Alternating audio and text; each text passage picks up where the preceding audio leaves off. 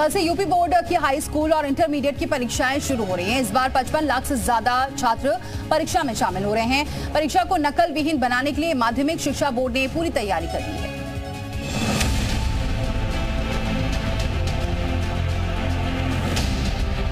UP board की high school और intermediate परीक्षा को लेकर तैयारी पूरी है। नकल विहीन परीक्षा को लेकर माध्यमिक शिक्षा बोर्ड अलर्ट है। नकल माफिया हो या नकलची, सब पर एक्शन की तैयारी में माध्यमिक बोर्ड है। साल 2023 की तरह ही इस बार भी माध्यमिक शिक्षा बोर्ड सख्त परीक्षा को लेकर अलर्ट मोड में है।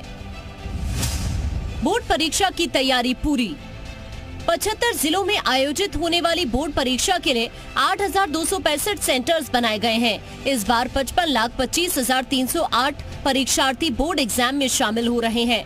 परीक्षा के लिए दो लाख पचहत्तर हज़ार प्रवेशक नियुक्त किए गए हैं। इसमें एक लाख सैतीस हज़ार तीन सौ सड़सठ माध्यमिक और एक लाख पच्चीस हज़ार सात सौ चौवन बेसिक टीचर शामिल हैं। नकल पर नकेल। नकल रोकने के लिए परीक्षकों को क्यू आर कोड दिया गया है। न्यूमेरिक कंप्यूटराइज्ड आई कार्ड दिए गए हैं।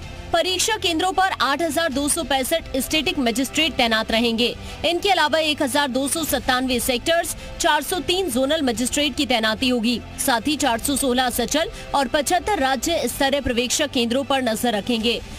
हम लोगों ने किया है कि तीनों की उपस्थिति जो केंद्र व्यवस्थापक है, बाह्य केंद्र व्यवस्थापक है और स्टैटिक मजिस्ट्रेट उन तीनों की उपस्थिति में ही प्रश्न पत्र खोले जाएँगे। प्रश्न पत्रों की बंडल्स की अलग अलग कोडिंग होती है अलग अलग उनके कलर होते हैं, ताकि सामान्यतः कोई भूल ना हो जाए। परीक्षा को लेकर नकल माफियाओं के लिए माध्यमिक शिक्षा बोर्ड ने चेतावनी भी जारी की है। जरा सी गड़बड़ पाए जाने पर रासुका लगाने की तैयारी है। नकल माफिया हैं, सबका हौसला पस्त हो चुका है। कोई भी हिम्मत नहीं कर सकता। यदि हिम्मत करेंगे और कहीं हल्की सी भी हमारे लिए झलक मिल गई कि गड़बड़ी ये लोग कर रहे हैं तो ये सीधे जो है इनके ऊपर रास्ता लगे सभी जनपदों के परीक्षा केंद्रों पर निगरानी के लिए लखनऊ में लाइव मॉनिटरिंग रूम और कमांड कंट्रोल सेंटर बनाया गया है। परीक्षार्थियों और परिजनों की सहूलियत के लिए बोर्ड ने शिकायत नंबर भी दिया है। साथ ही सोशल मीडिया के माध्यम से भी परीक्षार्थी या परिजन शिकायत कर सकते हैं। संभल से सुनील सिंह के साथ ब्यूरो रिपोर्ट, जी मीडिया। वही बोर्ड परीक्षा में नकल की आशंका को देखते हुए सूबे में 16 जनपद अति संवेदनशील चिन्हित किए गए हैं और इनमें मथुरा है, बागपत है, अलीगढ़ है, मैनपुरी शामिल है। एटा है, हरदोई है, आजमगढ़ है, बलिया है, जो अति संवेदनशील जनपद है, जिस पर खास नज़र रखी जाएगी। मऊ, प्रयागराज, कौशाम्बी, चंदौली भी अति संवेदनशील चिन्हित किए गए हैं। एटा भी है, हरदोई भी है। सोलह जनपद ऐसे हैं जो अति संवेदनशील है। आजमगढ़ है, बलिया है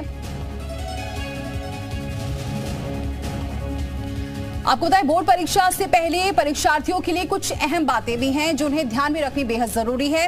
सभी परीक्षार्थी अपना एडमिट कार्ड ले जाना ना भूलें। बिना हॉल टिकट के परीक्षा केंद्र पर एंट्री नहीं मिलेगी। एडमिट कार्ड पर दिए हुए वक्त के हिसाब से ही सेंटर पर रिपोर्ट भी करें। देरी से पहुँचने पर एंट्री नहीं मिलेगी। तो एडमिट कार्ड पर दिए गए वक्त के हिसाब से ही पहुँचे।